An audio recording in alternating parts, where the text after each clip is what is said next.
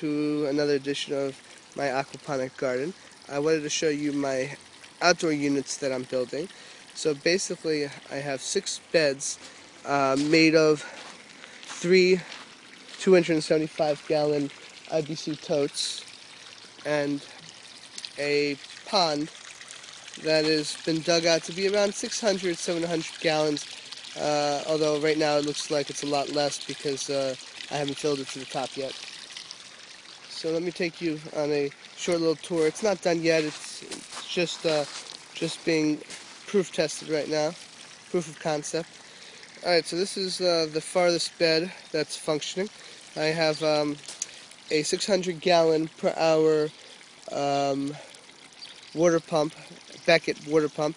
Um, I'm expecting a 3,500 gallon uh, within the next few days to take care of all six, plus to have some water go back into the pond to create some circulation and aeration and things like that.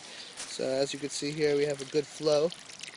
I might uh, pipe it out a little bit more in these beds to make it so uh, spread the water more evenly. And of course, here's the bell siphon. Uh, simply a pipe within a pipe.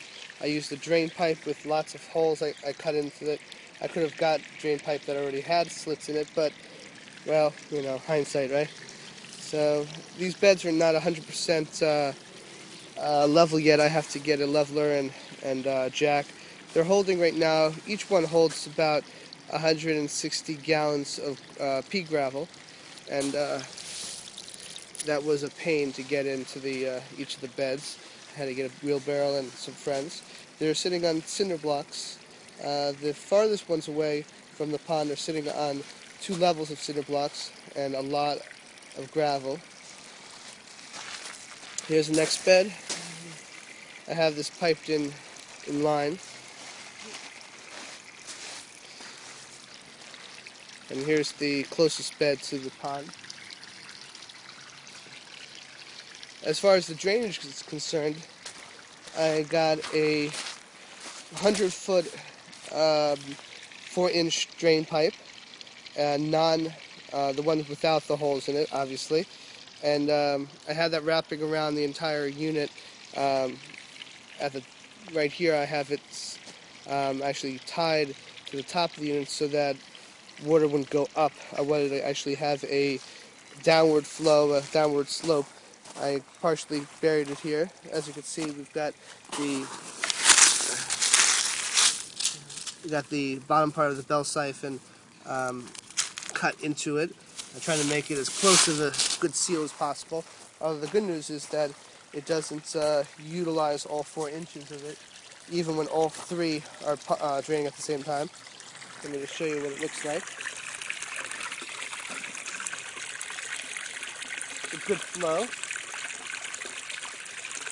And I'm hoping uh, this pond will be cycled within a few more days. I'll be able to get my fish in it. Put my fish from inside out here. So here's the bell siphon for this guy. At least the bottom part of it.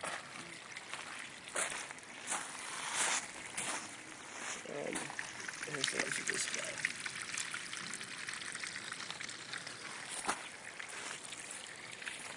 I'm going to set up the other three beds identically. They need to have bell siphons uh, created for them, and uh, they need to be leveled off. And other than that, they're they'll be ready to go. I'm going to put a greenhouse around this guy once I'm done. Should be a rather large greenhouse. And I'll also make it so that this is not so much in the way. The, the, the water uh, pipe I'll have it so that it's running along the floor. Hopefully it shouldn't cause any issue. Alright, thank you for watching. I'll keep you updated as, uh, as things progress.